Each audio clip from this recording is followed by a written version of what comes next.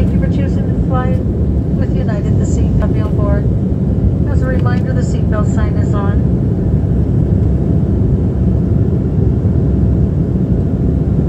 Even when the sign is turned off, please keep your seatbelt fastened while seated in case of unexpected turbulence. Keep the aisle and galley areas clear. And use the restroom located in your cabin when possible. Remember the bags do move around during takeoff. Be careful when opening up another large devices.